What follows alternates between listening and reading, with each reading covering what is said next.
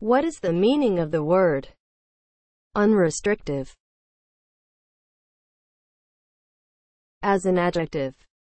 Not tending to restrict. Unrestrictive is spelled U N R E S T R I C T I V E unrestrictive